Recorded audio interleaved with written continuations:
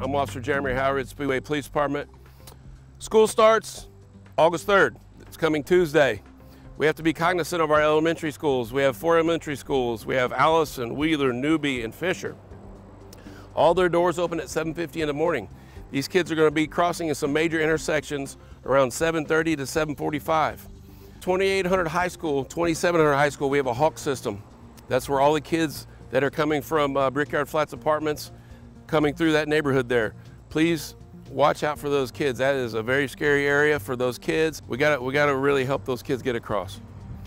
The next intersection, major intersection, will be 2200 North Lyndhurst. We have a lot of kids coming from the Legend of Speedway apartment complex coming over to school. That is a major intersection. We, I ask you to please slow down. We have our crossing guards there, but we have several complaints of cars running the lights, turning in front of the kids, speeding, please be cognizant of that area. Next spot I have is 1800 Cunningham. We have several uh, neighborhoods on that side. The Buick uh, Cadillac neighborhood. We have uh, Lakeside, Lakeside Village Apartments, Runaway Bay Apartments, Stanford Court Apartments, and all those kids are going to be crossing that road right at 1800 Cunningham. Please slow down.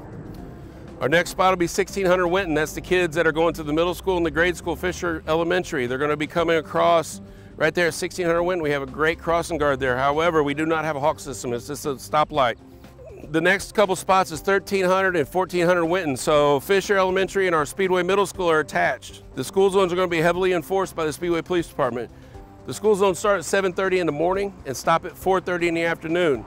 Now where the lights are flashing, that time is 7.30 to 9.30. The police department, they're going to really have their officers watching the school zones. So please be cognizant and help us out. Thank you.